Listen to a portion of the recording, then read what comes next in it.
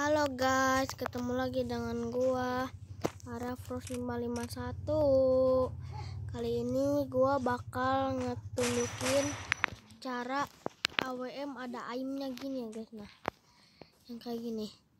Caranya gampang, kalian tinggal ke kontrol ya Custom mungkin nah. Apa nah pet nya tuh harus di tengah-tengah sini ya kalau nggak emot lagi nah. Terus kalian nih KWM langsung ada ya guys. Nah tuh kan tuh jadi gampang itu. Ya, eh, aduh nggak kena. Nah kan ya jadi ini tuh bakal langsung ini nah kecotkan ini ya. nah, jadi memang benar ya saya ulang. Aku custom ada nah. Nah kalian harus gini gitu.